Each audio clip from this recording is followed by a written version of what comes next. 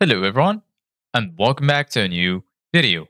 In this video, I'm to show you guys how you can add multiple users in Microsoft Teams.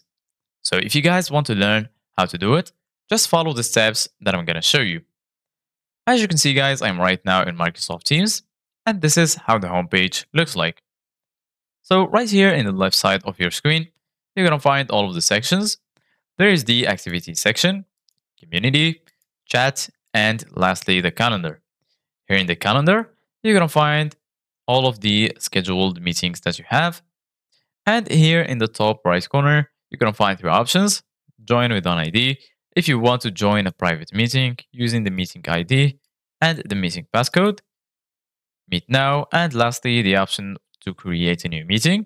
So once you click on new meeting, right here, you need to add the details about the meeting, like the uh, title for the meeting.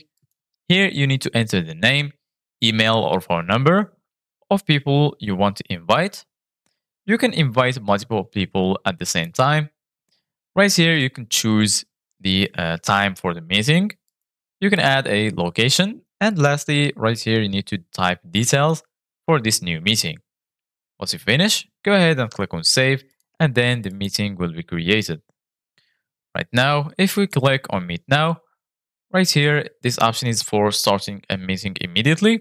You can click on Get a link to share if you want to generate a link. Or right now, we're going to click on Start Meeting. And as you can see, guys, now we're connected to the meeting. You can also copy the meeting link from here.